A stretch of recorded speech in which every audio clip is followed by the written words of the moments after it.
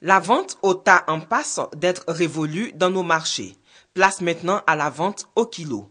Et ce, grâce à un don de 1000 balances fait par Begré Mambé, gouverneur du district d'Abidjan au nom du chef de l'État aux femmes du vivrier de Côte d'Ivoire.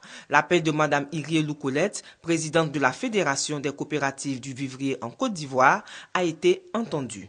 Aujourd'hui, avec la vente au kilo, toutes ces filles qui traînent elles seront obligées de s'approcher dans leur commune, les coopératives qui sont dans leur commune pour qu'elles puissent avoir quelque chose pour vendre, pour pouvoir se prendre en charge. Pour Anne Désiré Ouloto, ministre de la Solidarité, de la Famille, de la Femme et de l'Enfant, l'heure n'est plus au discours. Il faut agir en faveur de ces femmes qui se saignent nuit et jour pour approvisionner le marché ivoirien. Investir dans la femme, c'est donner une chance à l'éducation de nos enfants.